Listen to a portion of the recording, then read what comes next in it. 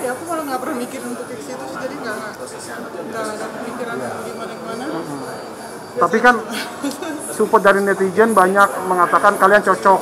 ya kalau misalkan ada yang bilang kami cocok dan support kami alhamdulillah terima kasih banyak dan mudah-mudahan memang hubungan ini bukan hanya yang seperti banyak juga netizen bilang katanya hanya settingan atau apa doain aja yang terbaik buat kita dan semoga ini menjadi pasangan yang terakhir untuk saya dan.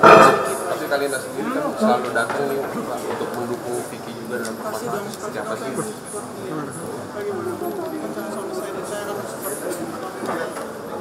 Untuk yang melihat akhirnya SP3 kasusnya seperti apa nih, Mbak Kalina? Iya, kasus kasusnya kan sekarang udah berakhir. Iya. Maksudnya se- sebagai calon gitu.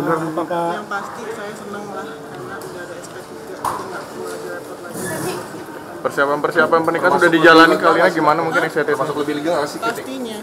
Persiapan-persiapan menjelang pernikahan udah dilakuin mungkin seperti apa nih Vicky? udah yang pasti udah kurang lebih 70-80 persen lah